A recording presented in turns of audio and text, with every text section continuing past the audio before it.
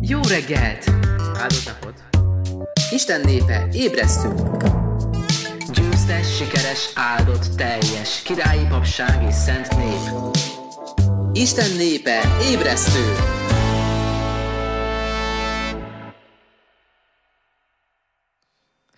Isten áldjon meg benneteket, nagyon nagy szeretettel köszöntelek ezen a csodás reggelen, halleluja!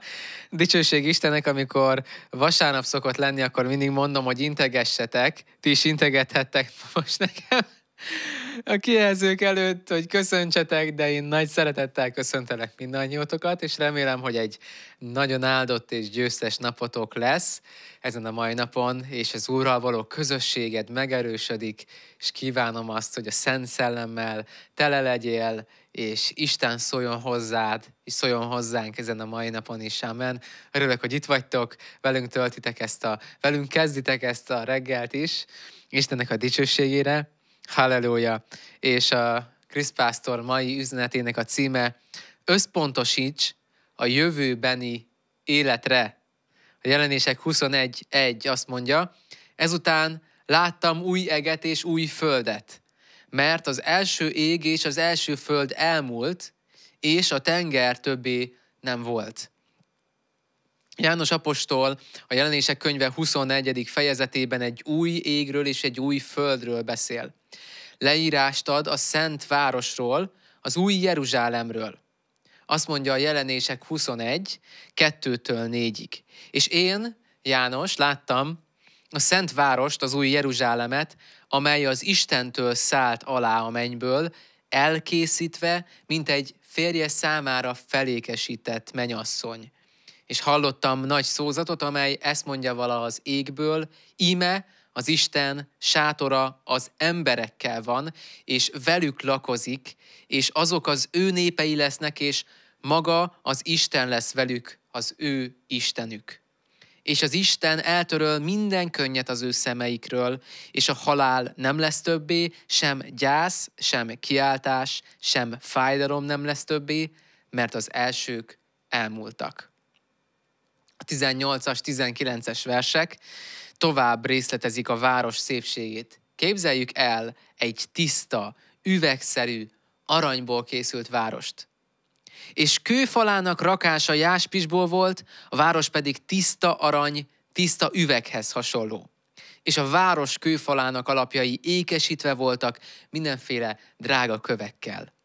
A 23-as, 25-ös versek még tovább mennek és a városnak nincs szüksége a napra, sem a holdra, hogy világítsanak benne, mert az Isten dicsősége megvilágosította azt, és annak szövétneke a bárány. És annak kapui be nem záratnak nappal. Éjszakai, éjszaka ugyanis ott nem lesz. Micsoda hely, amelyre várakozással tekinthetünk. Nem erre a jelenlegi világra kellene koncentrálnod, ami el fog pusztulni. Inkább szóljon a szenvedélyed Krisztusról, és az ő igéjének terjesztéséről a világban, miközben az ő dicsőséges visszatérését várjuk. Emlékezz az ő szavaira.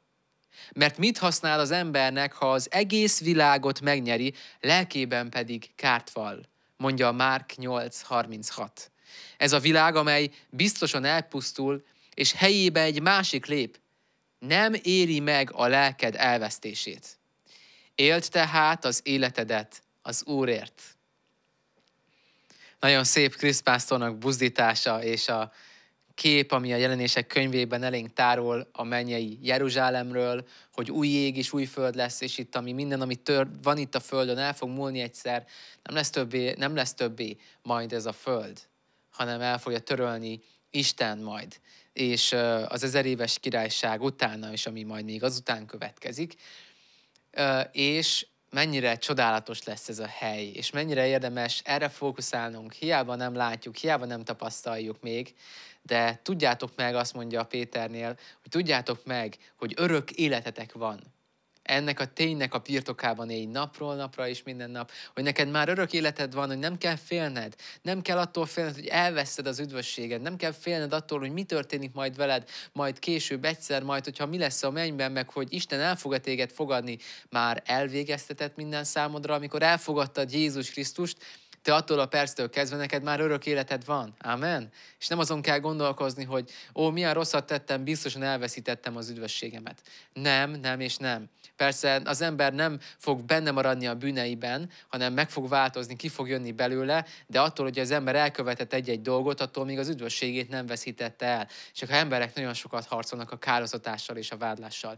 Számolj le a kározatással, számolj le a vádlással, mert azt mondja Istennek az igéje, hogy azoknak van bemenetelük a szentek szentjébe, akik, akiknek a szívük tiszta, és akiket a szívük nem vádol. Tehát azok be tudnak menni a szentek szentjébe. Azok az Úrral egy jó, egy mély és tiszta közösségben tudnak élni, akiket a szívük nem vádol, akiket a kározatás nem támad napról napra. Számolj le ezekkel a dolgokkal. Hogyan? Erősítsd meg magadat Isten igéjében. Erősítsd meg abban, hogy Isten hogyan lát téged.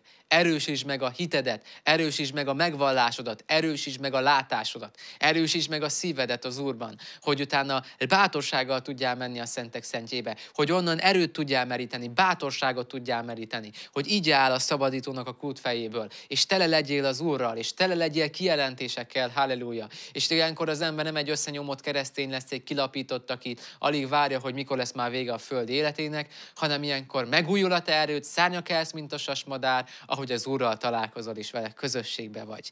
Erre kell figyelni, az Úrra és a királyságra. Gedeonnak azt, mond, azt mondták Gedeonnak, az Úrért és Gedeonért. Tehát futunk Istenért elsősorban, másodszorban pedig az azért az elhívásért, azért a látásért, amiben belehelyezett bennünket az Úr. Amen. Én is futok az Úrért, futok az új szövetség gyülekezetért, futok a mi pásztorunkért, halleluja, hogy hogy előre menjen az Istennek a királysága, hogy oda tudjunk állni támogatóként, partnerként, részvevőként, munkatársként, szolgálóként, önkéntesként, bármilyen formában oda tudjunk állni az Istennek a királyságába. Isten hív téged erre a mai napon, amen? Hogy gyere, legyél részese ennek a munkának, legyél részese a folyónak, halleluja.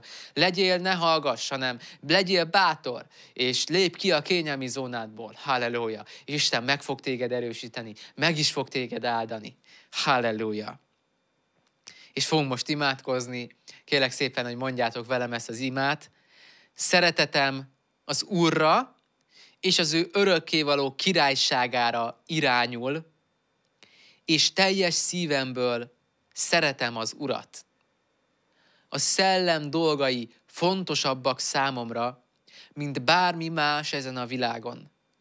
A Mester iránti szeretet hajt engem arra, hogy a Szent Szellem erejével Jézus nevében hirdessem az evangéliumot minden időben.